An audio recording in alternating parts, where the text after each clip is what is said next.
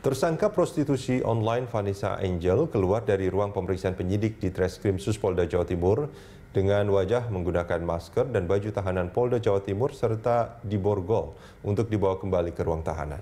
Ia menjalani pemeriksaan penyidik selama empat setengah jam. Dengan memakai baju tahanan Polda Jatim, Vanessa diperiksa di Polda Jatim. Usai diperiksa selama empat setengah jam, akhirnya Vanessa Angel keluar dari ruang penyidikan dengan dikawal ketat oleh petugas Ditreskrimsus Polda Jatim untuk langsung dikembalikan ke ruang tahanan Ditreskrimsus Polda Jatim. Kuasa hukum Vanessa Angel Milano yang datang mendampingi Vanessa dalam pemeriksaan mengatakan kondisi kliennya baru saja sehat setelah selama ini sakit. Pemeriksaan kali ini salah satunya untuk meminta Vanessa menandatangani berkas barang bukti yang kemarin belum sempat diselesaikan.